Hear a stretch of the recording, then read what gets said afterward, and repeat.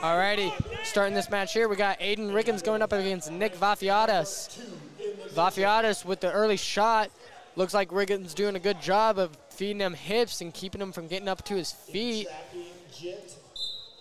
And it's going to end up being a stalemate, and they're going to be called back up to their feet. Aiden Riggins representing the Sebolt Wrestling Academy in the red, and Nick Vafiadis representing Minion Legends in the blue.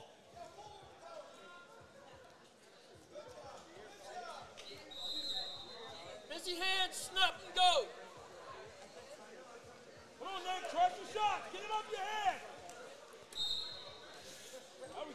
Riggins here trying to get that underhook. Vafiadis reaches for an underhook of his own.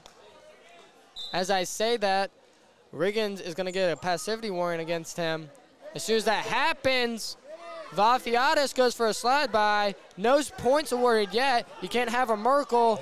Merkel's not two in freestyle, but it looks like it doesn't matter for Vafiadis as he tries to run it over, and he gets the two for it. He's going to give up a reversal. Now Riggins has the Turk over here. Looks like he's going to try and run it. Riggins now might be looking for the pin right here.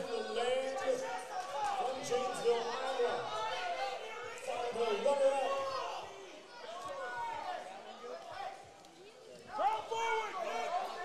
Vafiadis looking to belly down. Riggins looking to keep using that. We got two red. Making a 5-2 decision right now for Aiden Riggins.